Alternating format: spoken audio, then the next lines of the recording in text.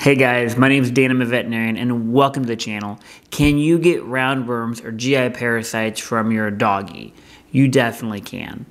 This is something that I get asked on a pretty regular basis. I have three things that I encourage people to consider when trying to prevent roundworms from spreading to the dog to human. Just make keep your pet on parasite prevention all year mm-hmm. long because it yeah. originally comes from the pet's poop. Number one would be doing some kind of dewormer. You can deworm on a yearly basis or a more frequent basis if needed. A lot of people, which I love this, do a, a heartworm preventative. Heartworm preventatives are great. They prevent against heartworm disease, but just as important, they also prevent against GI parasites.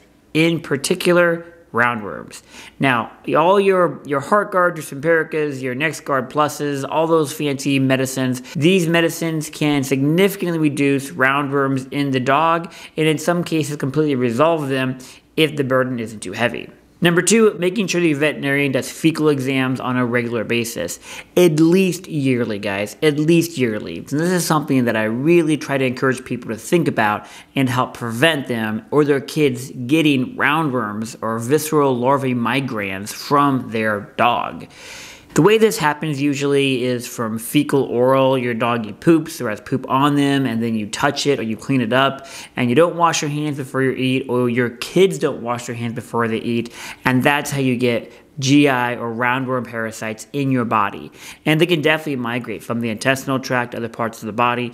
You can hear horror stories of them migrating to like an eyeball and causing blindness in an eye. If your dog is prone to getting into things every three to six months is also a good idea. But doing regular fecal exams can help you understand if your doggy is prone to carrying roundworms or other GI parasites. Number three is routine hand washing. Whenever you pet your dog or interact with them, you should be washing your hands afterwards. Now, of course, washing your hands before you eat is paramount, but being very aware that your doggy is exploring their world. They're dirty uh, from being outside. This diagram here shows how people can pick up roundworms by eating bad food. Also, guys, you can pick up roundworms, like I mentioned earlier, fecal oral, just contamination on the dog or the environment, and then eating something that has uh, fecal material on them, uh, basically the eggs being ingested. And all this can be prevented by just really, really good hygiene.